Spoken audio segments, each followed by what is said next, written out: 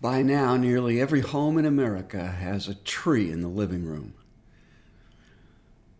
And I don't know if you know it or not, but if that tree was purchased from a lot down the street, then it's it's a different tree than what you might normally find out in the deep woods.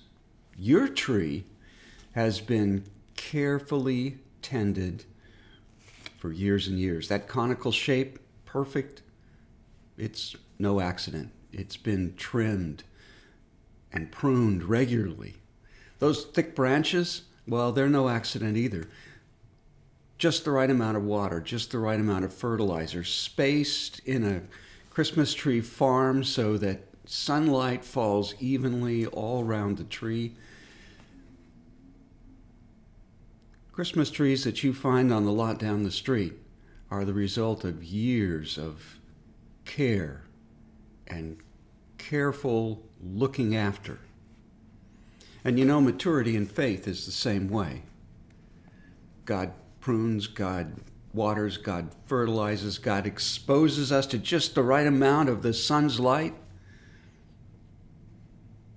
Think about that as you gather around your tree later this week. This is Ben Moore from West Highlands United Methodist Church with a thought for your day, just another way of reaching out. Thank you.